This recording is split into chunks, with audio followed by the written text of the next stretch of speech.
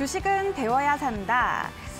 어, 주식의 기준 바로 잡아주는 일타 강사 주미남 진행의 조지현입니다. 자, 무언가를 배우기 시작할 때 경험자의 노하우를 따라하면 올바른 기준을 세울 수가 있습니다. 또 나만의 기준이 있다 할지라도 마음처럼 잘 되지 않는다 하면 내 기준을 좀 점검할 필요도 있는데요. 자, 여러분들은 주식의 기준이 있으신가요? 자, 앞서 말씀드린 것처럼 나만의 기준이 없거나 혹은 있을지라도 좀 내 마음처럼 되지 않는다 하시는 분들은 어, 이분을 주목해 주시기 바랍니다. 예, 주식의 기준을 바로 잡아주는 일타 강사 준미남 쌤인데요. 앞으로 한 시간 동안 함께 할 테니까요. 끝까지 집중해서 함께 보시기 바랍니다. 자, 그렇다면 일타 강사 준미남 지금 시작합니다.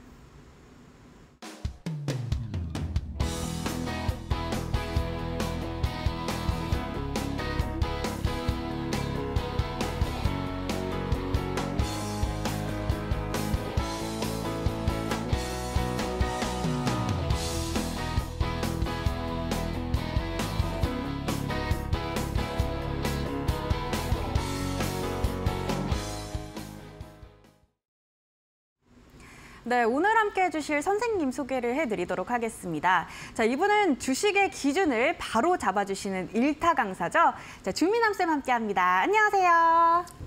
네, 안녕하세요. 네, 반갑습니다. 어, 일주일 만인데 일주일 동안 기다리시는 분들이 너무 많았잖아요. 그래서 인사 먼저 부탁드릴게요. 아, 좋습니다. 어, 시청자분들 반갑습니다. 음, 많이 기다리셨죠? 어, 시청자분들, 어, 우리는 이제 주식을 배워야 산다. 이렇게 앵커님께서 말씀을 해주셨는데, 어, 주식은 우리가 알아야 됩니다. 예. 결국에는 내가 아는 만큼 수익이 나고 내가 아는 만큼 주식으로 올바르게 투자할 수 있는 거예요. 내가 모르는 상태에서는 절대 주식을 할 수 없습니다. 어, 내 정말 이 소중한 돈을 뭐 남한테 의지를 한다, 뭐 다른 사람이 추천해주는 종목으로 내가 매매를 한다, 불가능합니다. 그 종목을 받아서 내가 뭐 듣고 매매한다 하더라도 내가 알아야 되는 거예요. 그 종목이 최소한 망하는 회사인지 망하지 않는 회사인지 내가 그 종목으로 지금 매수하면 뭐 물릴 건지 아니면 수익 날 수 있는 건지는 결국 내가 판단해야 됩니다. 어. 그래서 1타 강사, 1타 특강 우리 이 방송을 지금 시청자분들께서 어, 제가 진행을 하고 있고 우리가 좀 만났다라고 생각을 해요. 이 시간을 통해서 어, 주식의 기준 확실하게 또 세우시고 그리고 정말 좋은 기회입니다. 뭐 어디서도 이런 강의 안 해줍니다. 네. 이번에 좋은 기회 어, 시청자분들께서 확실하게 정말 잡아서 어, 제대로 한번 배워보시기를 바라겠습니다. 오늘 우리가 배울 내용은요. 에, 주식의 정말 기본적인 원리에 대해서 알려드릴 거예요. 근데 제가 생각을 했을 때는 오늘 이 방송, 이 강의가 정말 우리 대한민국 모든 개인 투자자분들께서 저는 다 시청하셨으면 좋겠어요. 모두가 다. 모두가 다 시청을 하고 확실하게 배워야 된다고 생각합니다.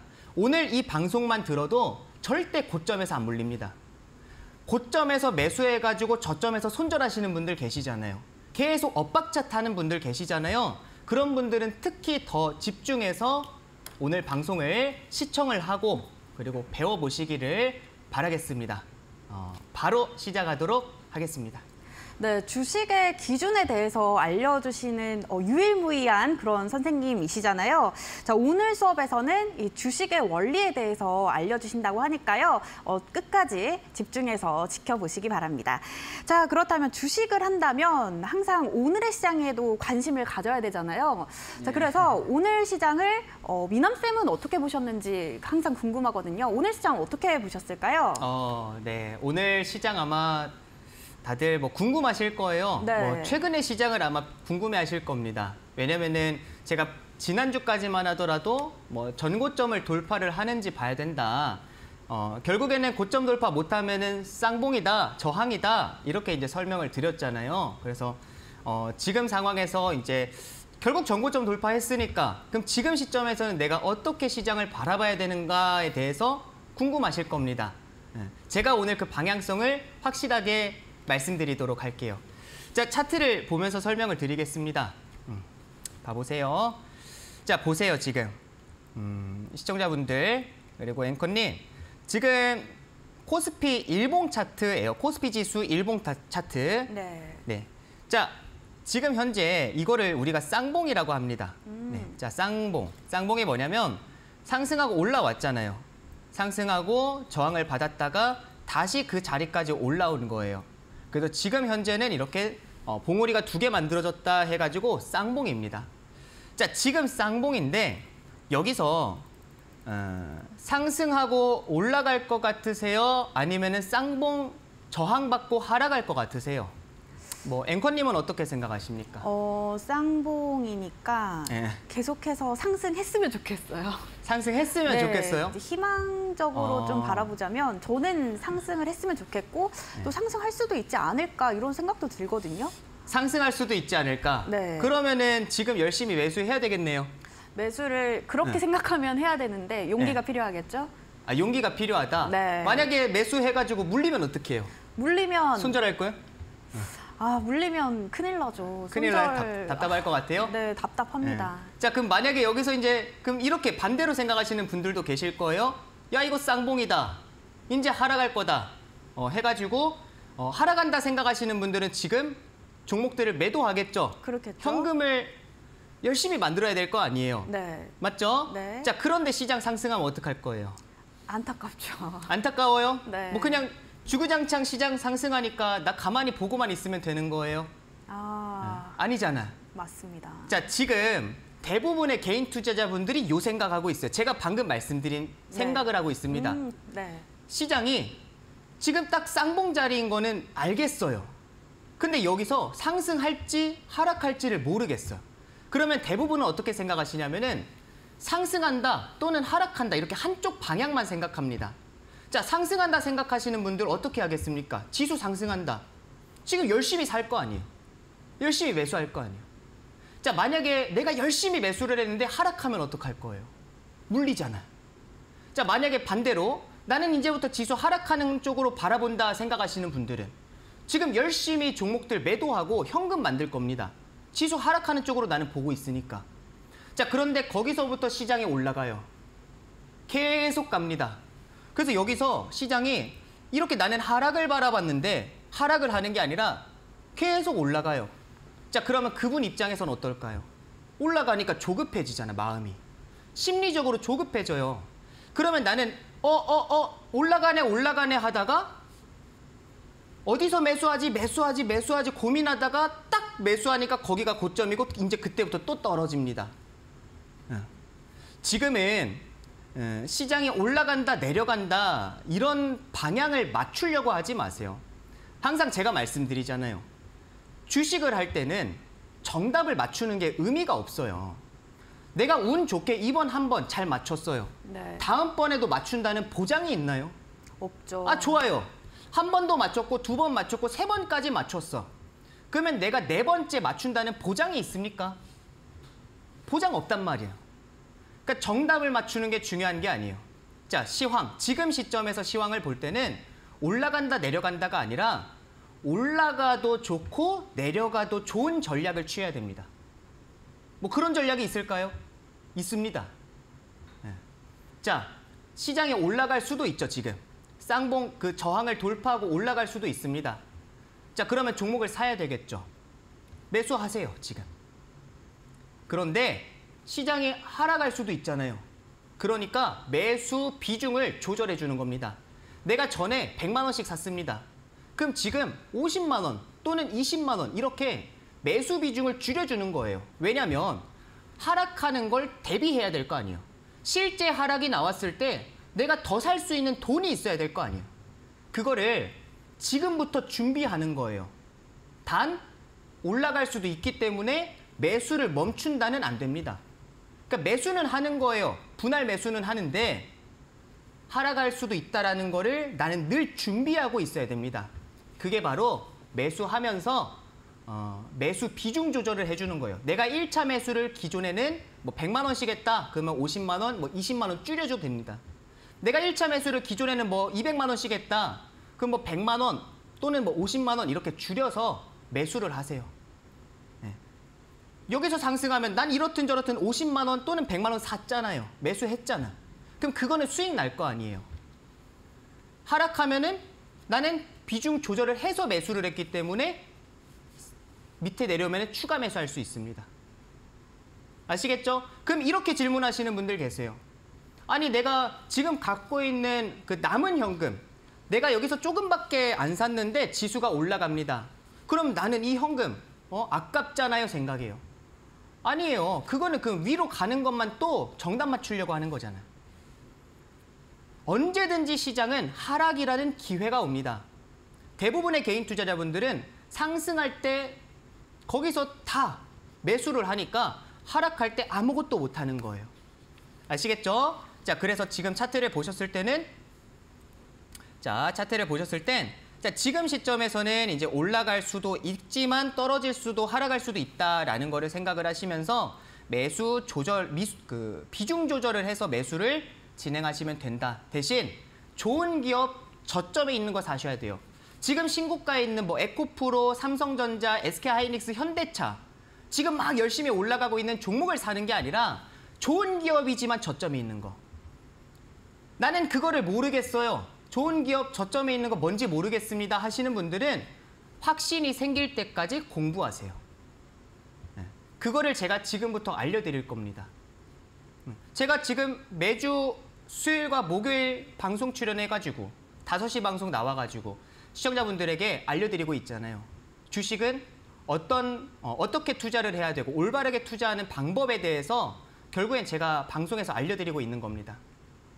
아시겠죠? 그래서 주식은 확신이 생기고 나서 그때부터 투자해도 늦지 않습니다. 음. 내가 이 현금이 있는데 이거를 내가 지금 매수 당장 안 한다 하더라도요.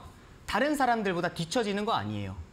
왜냐면은 어, 다른 사람들은 계속 신고가, 쌍봉, 적자, 신규 상장주 매매해서 결국 물립니다. 나는 매수 안 한 것만으로도 이미 그 사람들보다 몇 수 앞은 앞서가요. 그러니까 매수를 안 한다 해서 내가 뒤처지는 게 아니니까 내가 정말 주식 투자는 확신이 생겼을 때부터 하는 겁니다. 애매할 때는 하시는 거 아니에요. 그러니까 제대로 배우세요. 지금은 그러면 공부하세요. 확신 없으면. 아시겠죠? 자, 시황을 정리해 드리겠습니다. 지금 시장은 상승할 수도 있고 하락할 수도 있습니다. 그러면 전략을 세울 때 올라간다만 생각하는 거 아니에요. 반대로 내려간다만 생각하는 거 아닙니다. 올라갈 수도 있고 내려갈 수도 있고 그러면 상승해도 좋고 하락해도 좋은 전략을 난 취한다. 자, 그거는 어, 지금 매수를 하되 매수 비중을 1차 매수 비중을 조절해서 100만 원 샀으면 50만 원, 뭐 20만 원 이렇게 줄여가지고 매수를 한다, 매수를 시작한다 생각하시면 됩니다. 에, 난 이런 거 에, 아직까지는 애매하고 확신이 없다 하시는 분들은 공부부터 하고 나서 제대로 배우고 어, 주식 투자한다 생각하시면 되겠습니다. 네, 미남쌤과 함께 오늘의 시장 알아봤습니다. 자, 이제는 본격적인 강의에 들어가 볼 텐데요. 저희가 지난 시간에 이 HTS 배웠고 또 차트에 대한 기본적인 내용도 배웠습니다. 자, 오늘은 주식의 원리에 대해서 배운다고 들었는데요. 자, 네. 오늘 주식의 원리 맞나요? 오늘 주식의 원리 맞습니다. 네. 네, 주식의 원리 맞는데 어, 제가 이렇게 원리라고 하니까 네. 뭐 어렵게 느껴지실 수도 있어요. 음, 그런데 맞아요. 오늘 강의를 들어보면 전혀 어렵지 않습니다. 오, 네, 전혀 그런가요? 어렵지 않고 네. 오히려 오늘 방송을 딱 들으시면서 네. 이 말을 수차례 치실 거예요. 어떤 말이죠? 이렇게 이 말을 이렇게 아, 탁탁탁. 이 말을 아 이거구나 너무, 하면서 너무 쉽다. 네. 오. 아 쉽다가 아니라 아 네. 이렇게 이렇게. 내가 어리석게 정말 안일하게 투자하고 네. 있었구나라는 오. 거를 많이 느끼실 거고 네. 아 이렇게 해야만 내가 올- 어, 주식으로 정말 수익이 날 수 있겠구나라는 거를 네. 어, 알게 되실 거예요. 오. 그래서 어, 뭐 원리라고 해서 어렵게 생각하지 마세요. 제가 정말 쉽게 알려드릴 건데 네. 오늘 강의만 들어도 시청자분들께서는 음. 정말 에, 어디서 사면 물리고 어디서 사야 수익 나는지를 확실하게 알 수 있을 겁니다. 배워보실 수 있을 겁니다. 자, 바로 강의를 진행을 하도록 하겠습니다. 음, 우리가 어, 지난주 강의는 절대 잊으시면 안 돼요. 왜냐면은 강의가 계속 전 이어지는 겁니다. 계속 딱 단독으로 그 개별적으로 오늘 한 번 강의 이렇게 하는 게 아니에요. 지난주 강의부터 계속해서 이어져 가는 거고 다음 주도 이어갈 거예요. 자, 지난주에 우리가 뭘 배웠습니까? 지난주에 저희가 HTS HTS. 배웠고요. 그리고 차트에 대한 기본적인 내용에 대해서 배웠죠. 어, 기억하고 계시네요. 네. 어, 맞습니다. HTS가 어떻게 보면 가장 중요해요. 제가 매매를 할 때는 MTS, 그러니까 핸드폰으로 하든 뭐 컴퓨터로 하든 상관없다라고 말씀드렸는데 네. 우리가 주식 공부를 할 때는 무조건 컴퓨터로 해야 된다라고 했습니다. 맞아요. 왜냐하면 이유가 있죠. 이유가 이 이유를 있었죠. 기억하셔야 돼요. 기억하고 있습니다. 오, 좋습니다. 뭔가요? 네. 무조건 넓게 펼쳐서 봐라. 그렇게 어. 말씀하셨잖아요. 어, 맞아요. 네. 우리가 주식 공부를 할때 네. 대부분은 뭐 업황이나 시황, 섹터, 테마, 뭐 재료 이런 거를 공부 분석하십니다. 네. 근데 그게 중요한 게 아니에요. 음, 어, 우리가 주식을 할 때 처음에는 HTS로 공부를 시작하는데 그 HTS를 보는 이유가 차트를 우리가 요만큼만 보는 게 아니라 최대한 넓게 펼쳐 봐야만 우리가 거기서부터 시작을 할 수 있는 거예요. 맞아요. 음, 넓게 펼쳐봐야 되는 겁니다. 아시겠죠? 그래서 어, 지금도 마찬가지입니다. 자, 봐보세요. 음. 어, 자, 바로 강의를 진행하겠습니다. 차트를 보시게 되면은 어, 자, 이렇게 해야 좀 잘 보이실 것 같아요. 자, 보시게 되면은 지금 차트가 어떻게 되어 있어요? 지금 최대한 이제 우리가 넓게 펼쳐서 보고 있는 겁니다. 예. 자, 이게 상장S 하고 나서의 지금 차트 흐름이에요. 자, 넓게 펼쳐봤습니다. 이렇게 하니까, 이렇게 보니까, 어, 전체적인 뭔가 흐름이 보이시죠? 맞아요. 흐름이 확인이 됩니다. 네. 자, 우리가 이렇게만 봐도 알 수 있어요. 결국에는 내가 어디서 사면 수익이고, 어? 지금 이 종목 같은 경우 봐보세요. 지금 이렇게 어, 하락하고 내려왔다가 주가가 다시 상승을 하고 하락하고 내려왔다가 상승을 하죠. 자, 상승을 했으니까 또 하락을 합니다. 하락하고 상승하고 또 하락하고 상승하고 하락하고 상승하고가 반복이 되고 있습니다. 자, 그러면은 결국에는 어, 굉장히 중요합니다. 첫 번째 주식의 기본적인 이 원리가 뭐냐면 주가는 상승하면 하락한다. 하락하면 상승한다예요. 네. 이해가 되세요? 올라가면은 내려가는 거고요. 내려가면 올라가는 거예요. 자, 그러면 우리는 어디서 사야 되겠습니까? 시청자분들께서 지금 차트 딱 봤습니다. 차트를 보셨을 때 여기 아래에서 매수하시겠어요? 아니면은 위에서 매수하시겠어요? 저는 아래에서 매수하겠습니다. 아래에서 매수해야 됩니다 하죠. 네. 네. 저점에서 사야. 아니 이 종목 이렇게 보니까 아니 여기서 사니까 야 수익인데? 아 여기서 사니까 수익이구나. 음. 아 이렇게 떨어졌을 때 하락할 때 매수해야 수익이구나 소- 라는 거를 알잖아요. 그런데 대부분은 올라갈 때 삽니다. 좀 그런 아니 반박하 제가 올라갈 때 매수한다. 자 이거를 어 아니 저는 그렇게 안 하는데요 하시면서 자 지금 다들 뭐 매수할까 고민하고 계세요. 맞아요. 자 봐보세요 지금 뭐 예를 들어서 최근에 현대차 많이 올라왔죠. 자 지금 현대차 이거 매수 고민하고 계시지 않으세요? 주가 급등하고 올라오면서 지금 상승할 때 다 좋은 내용들 나오잖아요. 앞으로 자동차 관련주들 간다 하니까 지금 자동차 뭐 섹터 그 관련주들에서 내가 뭐 사야지 막 고민하고 계시고 최근에 또 다시 초전도체 올라오니까 뭐 서남 같은 이런 종목들 지금 내가 매수해 볼까 고민하고 계시잖아요. 자 서남 같은 이런 종목도 차트 넓게 펼쳐 봐 보세요. 자 이 종목 넓게 펼쳐 보니까 결국에는 여기서 사야 수익인 거잖아요. 아니 여기서 사야 수익인 거잖아. 그런데 이거를 왜 지금 매수할까 고민하고 있냐고요. 자, 제주 반도체 종목 봐보세요. 지금 제주 반도체, 야, 반도체 관련주들 간다 간다 하니까 좋다 좋다 하니까 이거 지금 매수할까 고민하시잖아. 자, 이것도 지금 여기서 위에서 뭐 행보하고 있으니까 뭐 어, 거래량도 발생했고 앞에 뭐 물량들도 매집했고 거래량 뭐 이탈 안 했고 막 다양한 내용들을 어, 접목시키면서 음, 이거 지금 살까 고민합니다. 자, 이거 차트 넓게 펼쳐봐 보세요. 자, 차트 넓게 펼쳐봐 봅니다. 자, 지금 현재 위치가 여기예요. 자, 이거 어디서 사면 수익이에요? 이거 아래에서- 여기서 사면 수익이잖아. 네. 여기서 사야 수익이 나는 거예요. 여기서 사야 수익이 난다고요. 이것도 여기서 샀어야 수익이 나는 거예요. 지금은 올라간 구간이잖아요. 무슨 말씀인지 아시겠어요? 자, 에코프로라는 종목 봐보세요. 다들 지금 이거 매수할까 고민하시잖아요. 자, 에코프로 딱 요만큼 차트만 보고 이거 매수할까 말까 고민하고 있습니다. 자, 이것도 차트 넓게 펼쳐서 봐보세요. 지금 현재 위치가 어딘가요? 고점인가요? 저점인가요? 고점이네요. 고점이죠. 네. 좀 전에 어디서 매수해야 된다라고 하셨어요. 저점에서 매수해야 된다 했어. 고점에서 매수해야 된다 했어. 저점에서 매수를 해야 된다. 저점에서 매수해야 된다. 근데 지금 이거 고민하고 계시잖아. 매수할까? 응. 이거 여기서 샀어야 수익인데요. 이거 여기서 샀어야 수익인 거예요. 아시겠나요? 주식은 상승하면 하락을 하는 게 당연한 거예요. 상승했으니까 내려올 거 아니에요. 반대로 하락을 하면 상승을 합니다. 자, 이걸 제가 조금만 다르게 설명해 드릴게요. 주가가 상승하고 올라갑니다. 그러면 거기서 더 상승할까를 생각해야 되겠어요? 아니면 하락을 준비해야 되겠습니까?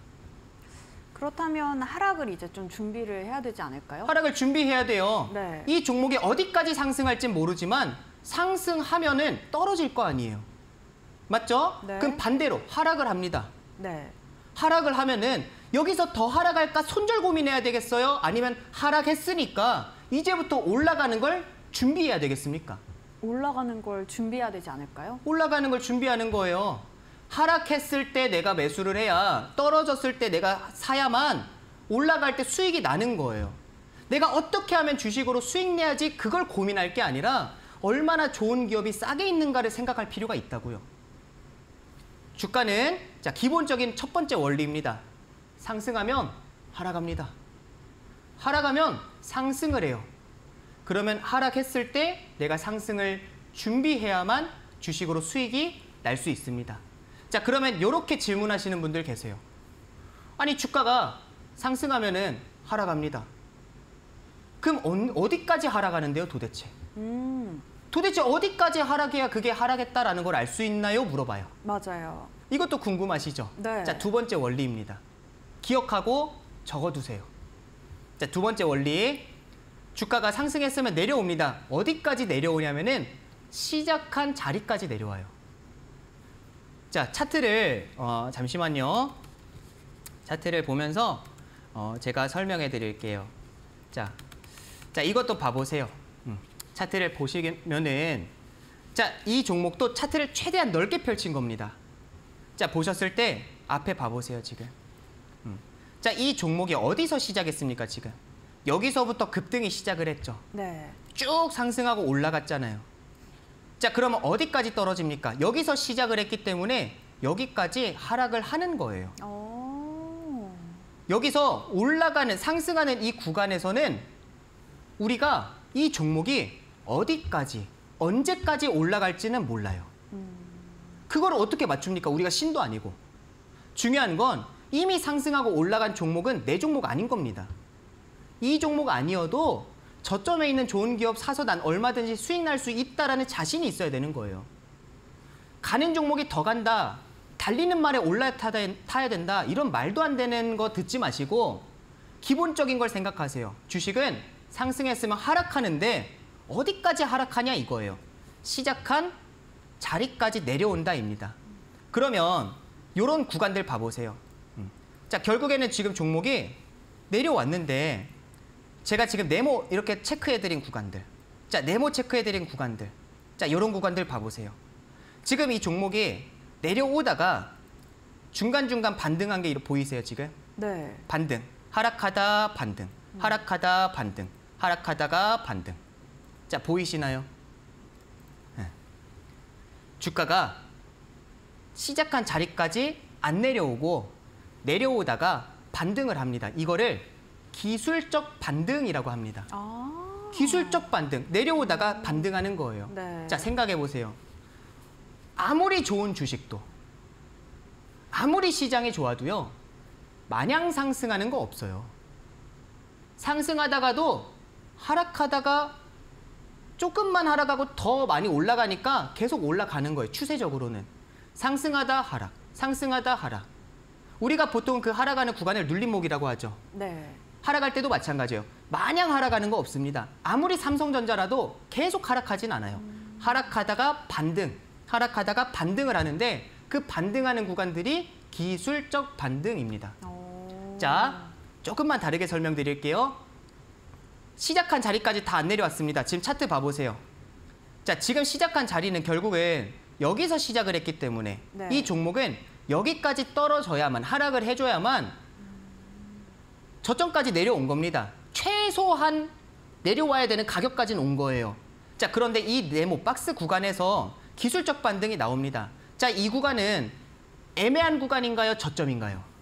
애매한 구간이지 않을까요? 애매한 구간이잖아요. 네. 자, 애매한 구간에서 내가 매수합니다. 네. 어, 하락하다가 기술적 반등하는 구간에서 내가 매수했어요. 음. 그러면 이 위에서 산 사람들 있죠. 네. 이 사람들보다 조금 싸게 물린 거예요. 어. 물린 건 똑같습니다.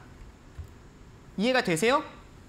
내가 여기서 매수하든 여기서 매수하든 여기서 매수하든 여기서 매수하든 심지어 여기서 매수하든 어디서 매수하든 간에 시작한 자리까지 내려오지 않은 상태에서 내가 매수하는 그 어떤 가격 모두 다 남들보다 조금 더 싸게 물린 것 뿐이지 물린 겁니다. 자, 그러면은 제가 질문 하나 드리겠습니다. 시청자분들은 저점에 있는 종목을 사시겠습니까? 시작한 자리까지 다 내려온 종목을 사시겠어요? 아니면 고점이거나 애매한 종목을 사시겠습니까? 음, 그렇다면은 당연히 저점인 종목을 사야 되지 않을까요? 저점인 종목을 사야 되는 겁니다. 네. 애매한 종목도 결국은 하락할 가능성이 존재하잖아요. 확실하게 다 내려오고 나서 매수를 해도 늦지 않다라는 거예요. 자, 어, 차트를 넓게 펼쳐 보면은 그 자리가 다 보입니다. 결국에는 여기서 시작을 하고 올라갔기 때문에 이 종목은 여기까지 하락하고 내려오는 겁니다. 자, 또 여기서 급등하고 올라갔잖아요. 그러면 또 그까지 내려오는 거예요. 자, 여기서 또 급등하고 여기서 이제 또 급등하고 올라갔죠? 그러니까 그 자리까지 내려오는 겁니다. 그 중간 어딘가는 전부 다 물리는 자리예요. 애매한 자리입니다. 자, 여기서 또 시작하고 급등하고 올라갔잖아요. 그러면은 여기까지 떨어지는 거를 기다리는 거예요. 그 전까지는 전부 다 애매한 자리. 여기서 분할 매수를 해도 늦지 않습니다. 매수하고 나서 올라가면은 나는 자연스럽게 수익이 나는 겁니다. 아시겠나요? 자, 그러면 지금 포스코 인터내셔널 자, 봐보세요. 이거 지금 사야 되겠습니까? 안 사야 되겠습니까? 자, 이거 저점이 여기서 지금 시작 급등하고 올라갔잖아요.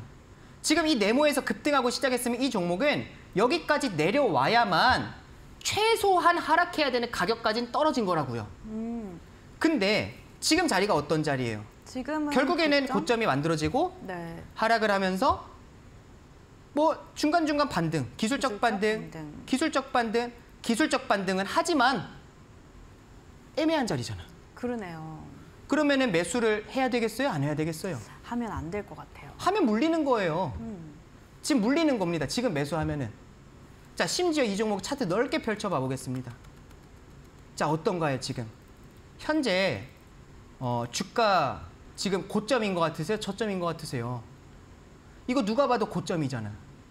근데 차트 요만큼만 보니까 야, 이제 이 정도면 많이 하락했지. 이거 어떻게 생각하시냐면은 지금 10만 원 가까이 10만 원까지 올라갔잖아요. 96,700원.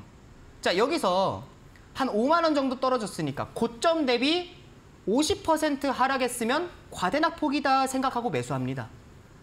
음, 그러니까 물리는 겁니다. 아시겠어요? 과대 낙폭이라는 거는 역사적 신고가 이렇게 올라간 종목이 하락을 하는데 이게 50% 하락에도 떨어지는 게 당연한 종목이 있어요. 60, 70, 심지어 90% 하락에도 과대낙폭이 아닌 종목들이 있습니다. 애매한 자리에서 사지 마세요. 여기서 올라갈 수도 있잖아요. 하락하다가 반등하고 계속 올라갈 수도 있잖아요. 이렇게 물어보시는 분들 계시는데 어, 내가 거기서 그 종목 이렇게 내려오다가 애매한 자리에서 기술적 반등하고 쭉 올라가는 거 그런 종목 아니어도 그 애매한 종목 아니어도 저점에 있는 건 나는 얼마든지 수익 날 수 있어요. 그렇게 생각하셔야 됩니다. 애매한 자리에서는 99번 수익 나도 성공해도 마지막 100번째 물리면은 그 종목으로 평생 손실 납니다. 왜냐면 신고가에서 매수했는데 떨어지면 물타기, 물타기, 물타기. 나는 처음에 5%로 시작했는데 어느 순간 보니까 비중은 50, 60% 들어가 있고 이미 나는 그 종목으로 계속 하락하니까 손실 5, 60%나 있고 비중 50%에 손실 5, 60%나 있으니까 그 한 종목 때문에 다른 종목들 아무리 수익 나도 계속 계산 마이너스입니다. 이런 종목들, 이런 애매한 종목들 99번 내가 성공해도 수익 나도 의미가 없어요. 제가 지금 말씀드린 걸 이해하시면은 정말 주식 투자하는데 도움 많이 되실 겁니다. 그리고 여기서부터 이제는 올라가겠지 생각하다가 자 만약에 이런 종목 맞으면 어떡할 거예요? 내가 이제 아니 이거 고점 대비했을 때 한 50% 정도 자 고점 대비했을 때 50%면은 자 여기 여기 네, 이 자리 지금 여기가 고점 대비 50% 자리입니다. 자 여기서 마찬가지네요. 기술적 반등하는 모습이 나타나네요. 차트를 넓게 펼쳐보니까 아, 좁혀보겠습니다. 자 여기서 기술적 반등하니까 야 이거 고점 대비 50% 하락했다. 이제부터는 올라간다 하고 여기서 딱 매수를 했는데 만약에 내가 매수하고 나서 주가가 반등하고 올라가는 게 아니라 쭉쭉 가는 게 아니라 이렇게 하락하면 어떡할 거예요? 애매한 자리에서 매수하니까 물리는 겁니다. 카카오. 자, 이거 좋은 기업이라는 거 누구나 다 알아요. 우리 대한민국 사람이면은 카카오 안 좋다는 사람 어디 있습니까? 그런데 대부분 개인 투자자분들의 평단가를 확인해 보세요. 이거 평단이 어딘가? 대부분 여기 아니면 뭐 이런 애매한 자리들, 기술적 반등하는 자리들에서 매수하고 지금 물려 계십니다. 자, 물려 있는 사람 입장에서 어떻겠습니까? 지금 반등하고 올라오니까. 음. 어, 내 평단까지 올까? 제발 내 평단까지 왔으면 좋겠다. 이렇게 어? 간절히 바라시잖아요. 그런데 상승하고 올라가다가 또 떨어져요. 이렇게 애매한 고점 자리에서 내가 매수하면은 우리는 계속해서 희망 고문만 당합니다. 올라올 것 같잖아요. 내 평단에 올 것 같은 희망이 생기잖아요. 반등할 때마다. 근데 반등하다 또 떨어져. 반등하다 또 떨어져. 반등하다 또 떨어져. 그러면은 희망 고문만 당하는 겁니다. 이해가 되세요? 굉장히 중요합니다. 자, 정리해 드릴게요. 너무 많은 얘기들을 해드려가지고 지금 막 머리가 복잡할 수 있는데 자, 첫 번째. 기본적인 원리입니다. 주식 투자를 할 때는 첫 번째. 주가는 상승했으면 하락을 합니다. 하락을 했기 때문에 상승하는 거예요. 상승과 하락을 반복하는 게 주식의 기본 원리입니다. 그러면은 결국 주식은 상승했으면 하락을 할 텐데 어디까지 하락하냐 이겁니다. 그게 두 번째 기본적인 원리에 해당이 되죠. 주식은 급등이 시작한 자리까지 하락하는 게 기본입니다. 시작한 자리까지 내려오는 게 당연한 거예요. 그 중간중간 반등하는 건 전부 다 애매한 자리에서 반등. 예. 고점이나 애매한 자리에서 매수했다가 물리면 어, 정말 주식 피곤하고 힘듭니다. 어렵습니다. 어렵게 하지 마세요. 왜 굳이 내가 내 돈을 어? 내가 열심히 모은 이 피 같은 돈으로 투자를 하시면서 왜 애매하고 어렵, 어렵게 막 투자를 하십니까? 내가 고점에 있는 거 애매한 종목 사잖아요? 내 돈으로 스트레스 사는 거예요. 내 돈 주고 사는 겁니다, 스트레스를. 예. 그거를, 예, 시청자분들, 어, 이 악순환을요, 이걸 악순환이라고 합니다. 내가 계속 내 돈으로 스트레스를 사는 거. 고점이나 애매한 자리에서 매수해가지고 계속 물리는 매매. 이걸 악순환이라고 해요. 이 악순환의 매매를 내일부터 끊어야 되겠습니까? 다음 주부터 끊어야 되겠습니까? 다음 달부터 끊어야 되겠습니까? 아니면 오늘 바로 당장 끊어야 되겠어요? 음, 어떻게 생각하세요? 저라면은 지금 당장 끊습니다. 어차피 물리는 매매인데. 내가 매수해봤자 물릴 건데. 내가 이 애매한 자리에서 물리는 매매를 하다가 운 좋게 99번 수익 나도 마지막 그 한 번 때문에 망하는 게 이 매매인데 음, 이거는 내일부터 끊어야지 생각하지 마세요. 오늘 당장 지금부터 끊는 겁니다. 아시겠죠? 그러기 위해서 우리가 이거를 끊기 위해서 그러니까 공부하는 거예요. 공부하지 않은 상태에서 내가 주식 투자를 한다 말도 안 됩니다.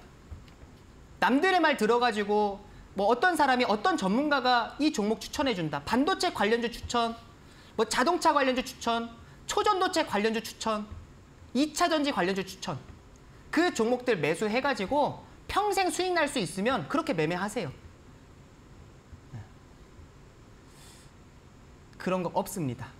내가 아는 만큼 수익 나는 게 주식이고 굉장히 정직해요, 주식은. 내가 알고 내가 공부한 만큼 딱 그만큼만 수익이 납니다. 그러니까 열심히 공부하시고 배우시기를 바라겠습니다. 네. 자, 세 번째. 자, 기본적인 원리 세 번째입니다. 그러면 하락했습니다. 하락을 했으면 이제 상승을 할 거 아니에요. 그럼 어디서부터 상승하냐 이겁니다. 자, 세 번째. 기억하세요. 어디다 적어두셔도 됩니다. 네. 어디서부터 상승할까요? 자, 제가 지난주에 이동평균선을 주민함이 이동평균선을 보는 이유는 정배열인지 역배열인지를 어, 구분하기 위해서 본다. 정배열인지 역배열인지 확인하기 위해서 본다라고 말씀드렸습니다. 기억하세요? 혹시 앵커님 기억하시나요? 네, 기억납니다. 기억하세요? 네, 정배열, 어, 역배열. 정배열, 역배열. 음. 자, 우리가 책에서 배울 때는 네. 우리가 흔히들 어, 주식 공부하면서 이동평균선 공부할 때 네. 정배열과 역배열 공부합니다. 음. 그런데 대부분은 정배열에서 매수해야 된다 알려줘요. 맞아요. 심지어 책에서도 그래요. 네. 왜냐하면 정배열 말 그대로 올바른 바르게 배열이 되어 있는 거예요. 건강한 이동평균선 배열이라는 겁니다. 음. 건강하잖아. 아닌가요? 그러니까 정배열에서 매수하려고 하는 겁니다. 그렇게 알려주고 책에서도 그렇게 나와요. 자 그런데 어, 제가 핵심 포인트 알려드릴게요. 음, 제가 이렇게까지 좀 강하게 말씀드릴 수도 있을 것 같아요. 모든 주식들은이에요. 정말 모든 주식들은 역배열에서 시작을 합니다. 상승이 시작되는 자리가요. 정배열이 아니라 역배열에서 시작을 해요. 자, 제가 차트를 보면서 그거를 어, 보여드리도록 하겠습니다. 자, 자 우리가 어, 아이고 먹고 자, 좀 전에 봤던 종목이잖아요. 자, 이 종목 봐보세요. 제가 정배열 자리들을 아 역배열 자리들을 동그라미 쳐드릴게요. 자, 여기가 역배열입니다. 자, 여기가 역배열이에요. 지금 여기가 이동평균선 역배열, 여기가 이동평균선 역배열, 여기가 역배열, 여기도 역배열입니다. 자, 보이세요? 반대로 정배열은 제가 노란색 박스로 쳐드릴게요. 자, 여기가 완벽한 정배열. 자, 여기가 정배열. 여기가 정배열, 여기도 정배열, 여기도 정배열. 자, 여기도 정배열입니다. 음. 자, 정배열에서 매수하면은 수익 나나요, 물리나요? 물리는 것 같은데요. 노란색에서 매수하면 물리겠어요? 수익 나겠어요? 물리는 겁니다. 동그라미에서 매수하면 수익 나겠습니까? 물리겠습니까? 수익이 날 것 같아요. 수익 나는 거예요. 또는 동그라미가 역배열이고요. 박스, 이 노란 색깔 이 박스가 정배열입니다. 자, 제가 한 종목만 더 보여드릴게요. 자, 어, 이 종목 봐보세요. 자, 이 종목도 어디가 정배열이고 역배열인지를 체크해 드릴게요. 동그라미로 역배열 체크해 드립니다. 자, 여기가 역배열, 여기가 역배열. 자, 여기가 역배열, 지금 여기도 역배열. 자, 보이세요? 정배열 체크해 드릴게요. 자, 여기가 정배열, 여기도 정배열, 여기도 정배열, 지금도 정배열입니다. 이것도 딱 보이잖아요. 역배열에서 종목들이 상승이 시작되는구나. 정배열에서 매수하니까 물리는구나. 자, 시청자분들께서 왜 지금까지 내가 매수하면 물리는지를 아시겠어요? 지금까지 잘못된 공부를 하신 거예요. 잘못된 주식 지식을 알고 있었던 겁니다. 자, 그러면 지금부터는 내가 알고 있는 것 다 버리세요. 전부 다 삭제하셔도 됩니다. 지금부터 제대로 알고 지금부터 제대로 공부해서 올바르게 투자해도 늦지 않아요. 자, 주식은 역배열에서 시작합니다. 자, 그러면 지금 매수 고민하고 있는 종목들 어, 그거 다 현재 자리, 현재 이동평균선이 어떤지를 확인해 보세요. 그리고 시청자분들의 종목들의 매수 위치를 한번 봐보세요. 거기가 정별인가 역별인가. 전부 다 정별에 매수해 있습니다. 자, 지금 다들 어떤 거 매수 고민하고 계세요? 뭐 코스모 화학 이런 것도 어, 자 신성 델타테크요. 좋습니다. 어, 신성 델타테크 봐보세요. 지금 자 이동 평균선이 어떻습니까? 이거 정배열인가요? 역배열인가요? 정배열 아닌가요? 이거 지금 완벽한 정배열이잖아요. 네. 지금 매수하면은 물리는 거예요. 이거 다 지금 매수할까 말까 고민하고 계시잖아요. 차트 넓게 펼쳐봐 보세요. 역사적인 신고가입니다. 아니 이거를 다들 차트를 요만큼만 보니까 이거 살까 말까 고민하는 거예요. 근데 차트를 최대한 넓게 펼쳐보니까 야 이렇게나 고점이네. 음, 이렇게 보니까 이거 매수하고 싶으세요? 이 무섭, 무서워서 매수 못 할 것 같은데 저는. 음, 매수하면 물리는 거예요. 여기서 더 갈 수도 있잖아요. 말씀하시는 분들 계십니다. 아니 여기서 더 가는 게 중요하냐 이겁니다. 결국에는 물린다니까요. 언젠간 하락할 거 아니에요. 이해가 되세요? 언젠간 하락해요. 우리가 우리 인간은요. 절대 최고점 못 맞춥니다. 머리 꼭대기를 어떻게 맞춰요? 그리고 신성 델타테크가 어디까지 언제까지 올라가는지도 우리는 모릅니다. 그런데 정말 재수없게 내가 신성 델타테크를 지금 딱 매수했는데 지금부터 하락하면 어떡할 거예요? 그냥 물리실 거예요, 그러면? 아니, 손절하면 되잖아요. 이렇게 말씀하시는 분들 계십니다. 양심에 손을 얹고 대답해 보세요. 손절 쉬우세요? 정말 손절할 수 있으세요?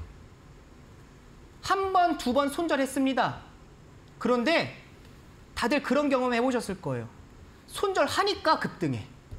아니, 내가 손절하니까 올라가요. 자, 그러면 그 다음번 매매부터 손절가는 정하지만 손절할 수 있으세요? 내가 매도하면 또 올라갈까 걱정돼가지고 손절 안 합니다. 그런데 귀신같이 그 종목은 그때부터 하락이 시작돼요. 내가 손절 안 하니까 그 종목은 물려요. 아이 또 이거 물려가지고 짜증나가지고 다음번 종목 매매할 때 손절가 정합니다. 그리고 또 칼같이 그 종목 손절해요. 귀신같이 손절하니까 급등합니다. 계속 악순환 반복이에요. 이렇게 하면은 계좌가 정말 정말 뭐 우리가 1년 2년 볼 필요도 없어요. 뭐 한두 달만 해도 이렇게 하면은 계좌 박살납니다. 주식을 이렇게 투자하면은 이게 올바른 매매예요. 올바른 투자예요. 아니면은 그냥 내가 투기적으로 도박하는 거 도박하는 겁니까? 도박하는 거잖아요. 근데 대부분의 개인 투자자분들은 이렇게 하고 있습니다. 자, 제가 다시 한 번 더 말씀드릴게요. 어, 주식 공부해야 되겠습니까? 안 해야 되겠습니까? 앵커님 공부해야 되겠어요? 안 해야 되겠어요? 공부해야 될 것 같아요. 공부해야 되겠죠. 네. 안 하면은 망하는 안, 안 하면은 네. 계속 물리는 매매만 하는 겁니다. 그러니까요. 무조건 주식은 공부하고 나서 하는 거예요. 제가 분명히 방송 시작할 때 말씀해 드렸죠. 주식은 공부하고 공부하고 나서 내가 확실하게 알고 나서부터 투자해도 늦지 않습니다. 왜냐면은 공부를 안 하면은 계속 신고가, 쌍봉, 적자 기업들, 신규 상장주들 막 그런 종목들만 산단 말이에요. 결국에는 사서 물릴 건데 내가 확실하게 공부하고 나서 좋은 기업 저점에서 매수하는 방법 알고 해도 늦지 않잖아요. 그러니까 공부가 필요한 거고 공부하면 그때부터는 주식이 달리 보일 겁니다. 자, 어, 공부할 수 있는 방법을 알려드릴게요. 저는 매주 수요일과 목요일 오후 5시 이 방송에 시청자분들에게 인사드립니다. 이 TV 방송을 통해서 공부할 수 있습니다. 자, 이 방송은 이제 이따가 12시, 12시에 다시 재방송이 진행이 됩니다. 이거 본방송 듣고 모르겠다 재방송 들으세요. 재방송을 들어도 모르겠다 하시는 분들은 주민함이 운영하고 있는 저는 이곳만 운영합니다. 다른 곳 다 전부 사기입니다. 저는 이곳만 운영합니다. 주민함이 운영하고 있는 공부방이 있습니다. 이 공부방에서 매일같이 주민함과 소통을 하고 공부를 하실 수가 있습니다. 심지어 제가 어, 따로 동영상 강의 자료들까지 준비를 해놨어요. 한 번에 다 올려드리지 않을 겁니다. 뭐 20개 가까이가 되는데 그거 한 번에 다 올려드린다 한들 어차피 다 보지도 못하고 뭐부터 봐야 되는지 모르세요. 자, 우리가 공부를 할 때는 처음부터 완전 기초, 입문적인 것부터 체계적으로 배워가야 됩니다. 한번 처음에 내가 바로 핵심을 배운다. 이게 중, 이거는 어, 의미 있는 게 아닙니다. 중요하지 않습니다. 처음부터 차근차근 배워야 돼요. 그래야만 내가 핵심을 배우고 내가 기법을 배웠을 때 실제 그거를 잘 활용할 수 있습니다. 자, 그러면 어, 공부방 어, 이곳에 이제 들어와서 뭐 주민들과 함께 공부할 수 있는 그 방법을 제가 알려드리도록 하겠습니다. 자, 시청자분들 음, 핸드폰을 갖고 오세요.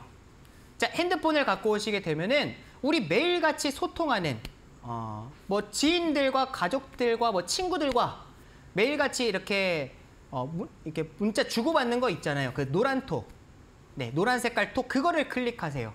자, 클릭을 하신 다음에 상단을 보시게 되면은 돋보기 모양이 있습니다.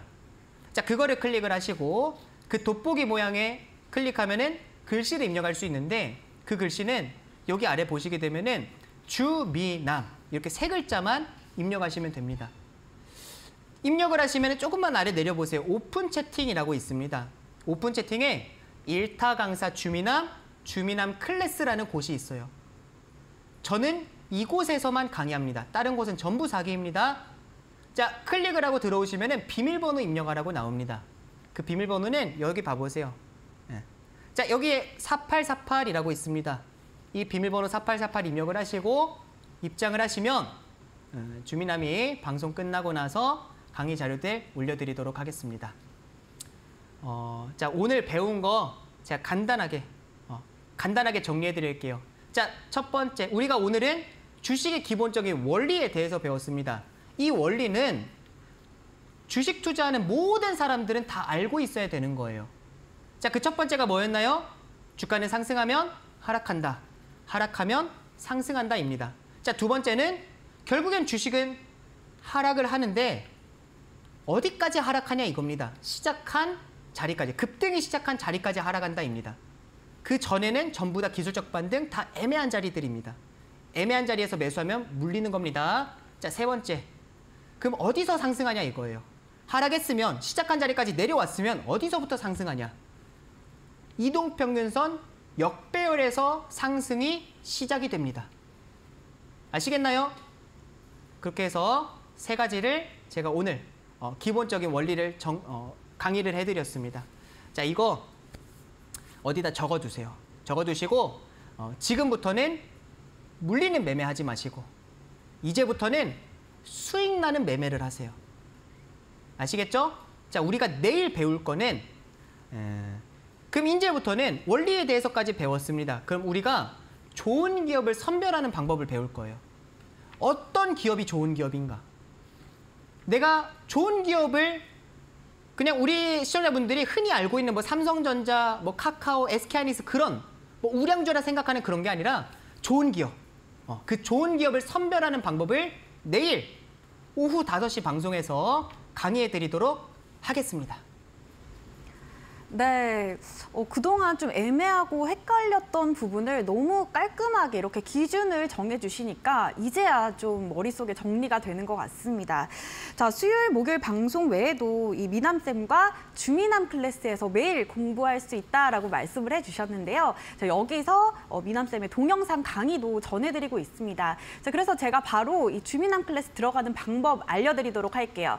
자, 여러분들 그 자주 쓰시는 노란톡 앱 켜주시고요. 그 오른쪽 상단에 보시면 돋보기 모양 있습니다. 그 돋보기 누르시고 어, 주민함 검색해 주시면 바로 들어오실 수 있습니다. 비밀번호는 4848입니다. 자, 여러분들 오늘 수업은 여기서 마무리해 보도록 하겠습니다. 저희는 내일 이 시간에 다시 찾아뵐게요. 시청해 주신 여러분 고맙습니다.